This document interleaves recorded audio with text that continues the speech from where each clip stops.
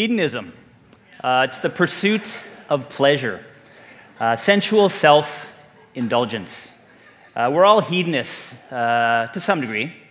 Uh, we all look for that instant gratification. It's much like eating an ice cream cone, for example. It's sweet, it's creamy, bathes your brain in pleasure. And usually, when you have one, you want another one. It's that mm, instant kind of gratification that's not very good for you sometimes, too. So, my hedonism, my pleasure, my ice cream is adventure. Um, so, behind me here, these are my roots, my wilderness roots uh, in North America, self propelled, various modes. And from 1995 till about 2007, I did uh, these kind of adventures in the wild purely for the adventure, the visceral pleasure and enjoyment that satisfied myself.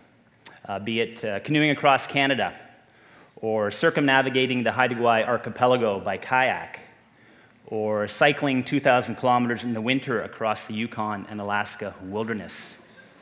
All these things I did for, it's kind of a twisted pleasure, but pleasure for myself. And it was just for, for my own enjoyment, my own uh, being out there and moving through space and time in the wilderness. It's the freest way I know how to live when you're out there adventuring. Um, no one can tell you what to do. It's a very anarchistic place. You're outside the realms of society. Your society is yourself, your buddy, and the canoe, and you can do whatever you want. All you have is just, you know, weeks and weeks of wilderness ahead of you, and, and you're in the moment at all times. When I do my journeys, I always go to a place I've never been to before. It's always fresh. And also, when I go there, I know I'll never go there again because there is so much to explore on this planet. So, when I'm there, when I see that first curve of the river, I'm never going to see that curve again. When I go over that mountain, I'm never going to see that mountain again from that perspective. So it really puts you in the moment. So it's a very addictive way to live. And as I said before, I had to pay for this addiction.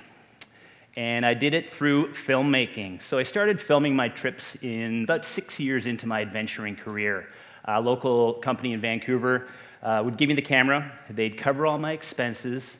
I just had to go out there and do my adventure, give them the raw footage, and then just head off an adventure again. It was a very easy way to kind of keep in my pleasure pod of adventure. But then after a couple of years, they actually produced something with my raw footage. And the film was the, the series they produced was on television in Canada. Probably no one here saw it before, but it was called X Quest. And X Quest kind of falls somewhere between Toddlers and Tiaras and Duck Dynasty. So they basically turned my footage into reality television, the lowest common denominator. Um, so not very reverential to the wilderness. Um, it was kind of like ice cream, you know, it feels good initially, but then you kind of feel crappy afterwards and want to take a nap.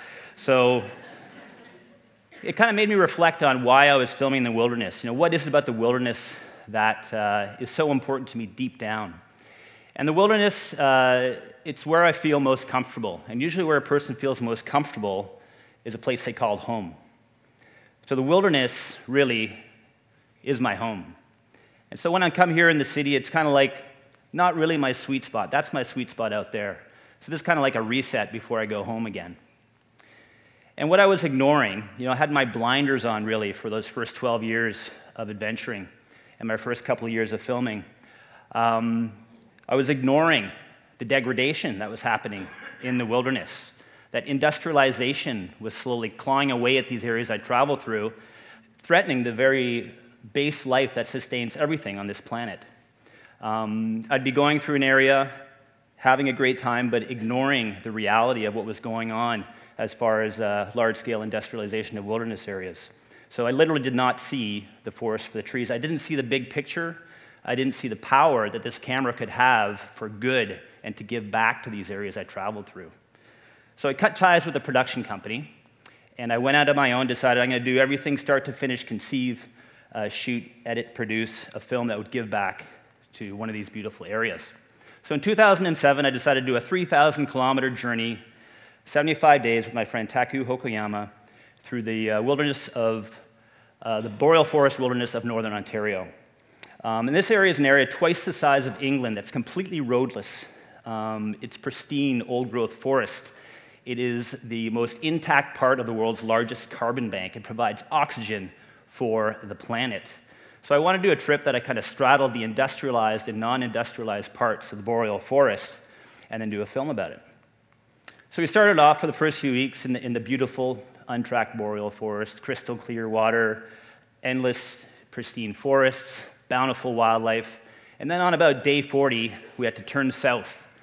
And we turned south on the Matagami River. And this may look like a wilderness river, but it's actually an industrialized river. It's controlled by four power generating dams upstream. So we worked our way for a couple hundred kilometers up this stream. The water was no longer crystal clear, it was brown, it was slimy on the rocks, no fish to be seen. But we finally got to that first dam one evening. So we camped there the evening before. We had to portage around it the next day. We woke up the next morning, and the river downstream was gone. We'd actually paddled up this the, the evening before. And that kind of crystallized things for me and what I was doing out there on that journey. Um, I was still, we were still hundreds of kilometers from the closest community, and there was no one else there to bear witness for the wilderness. Um, I had the privilege of being able to travel through these wilderness areas for all those years, and I hadn't bared witness, bore witness to it, but now I was going to do it, and I did do it. And even more importantly than witnessing what was happening in the industrialized part of the boreal forest was talking to First Nations, indigenous people in these remote, isolated communities. They're the only people up there. They've been there for thousands of years, an amazing oral history and tradition and connection to the landscape. So my journeys are just, I'm just a tourist passing through, and I show the landscape, but every issue I deal with in my films is always spoken to by the people who live up there, who have this connection and tell us really why the land is important up there and why it should be protected. And this was very difficult for me. It got me out of my my pleasure pod, my hedonistic uh, life of just being able to say wave at someone from shore or have a polite conversation when I'm picking up a parcel. Um, but now I had to actually engage people in difficult issues, and this was hard. This is no longer ice cream. And then you get home and you have all this footage, and suddenly I have to learn how to edit. Hundreds of hours of editing turning into something cohesive. So definitely not ice cream, more like Brussels sprouts. You know, they don't, they don't taste very good initially, but you know in the long run, they're going to be good for you. and in the long run, Borealis came out, my first film. And it did very well. It aired across Canada, um, did well in some film fests, but most importantly, the film was actually used by environmental groups in Ontario to broker a deal in 2009 with industry, First Nations, and the government in order to protect a large area of the boreal forest for future generations. So, a great success story. Thank you. So with that, like a light bulb basically went off my head. You know, this camera is not just toddlers and tiaras. You know, this is, this is actually something I can do for good. So I looked for other projects. And one in BC I did was I, I, I biked, hiked, and kayaked the uh, GPS track of the Northern Gateway Pipeline and did a film called On the Line. So I gave a kind of a ground level view of this controversial uh, subject um, in order to raise awareness about it.